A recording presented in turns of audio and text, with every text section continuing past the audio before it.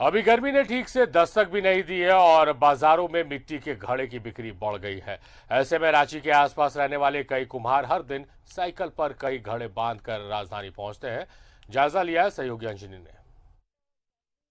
दे चुकी है और गर्मियों के मौसम में जो देसी फ्रिज है, उसका इस्तेमाल हम लोग करते हैं।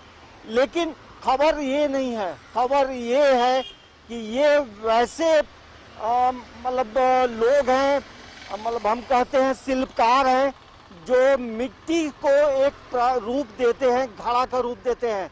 और उससे भी बड़ी बात यह है 28 किलोमीटर पैदल चलकर साइकिल में लगभग 40 से 45 इस साइकिल में कितना घड़ा है?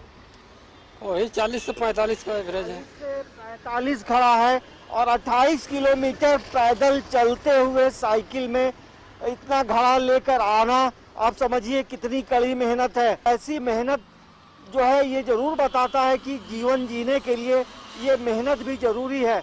ये बताइए सुबह तीन बजे निकले हैं 28 किलोमीटर दूर की यात्रा करते हुए आ रहे हैं।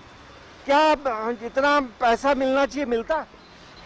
मिलता उतना नहीं है मगर थोड़ा मोड़ा मिलता है जे भी। चलिए तो ये बात है। इसके साथ साथ एक अंतिम सवाल आपसे यही करेंगे।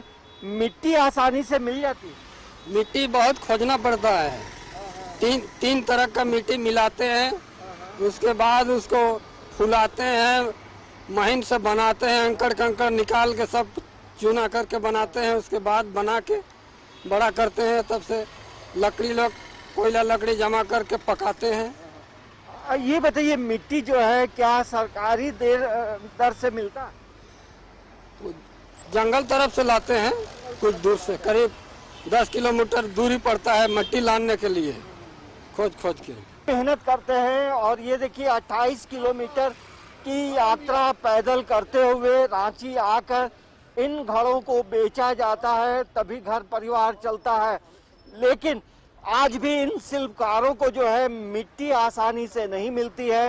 राज्य में मिट्टी कला बोर्ड की भी स्थापना की गई है।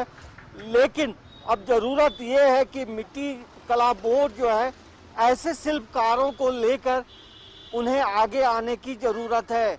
न्यूज़ 11 भारत के लिए कैमरामैन अभिदास के साथ अंजनी कुमार, रांची।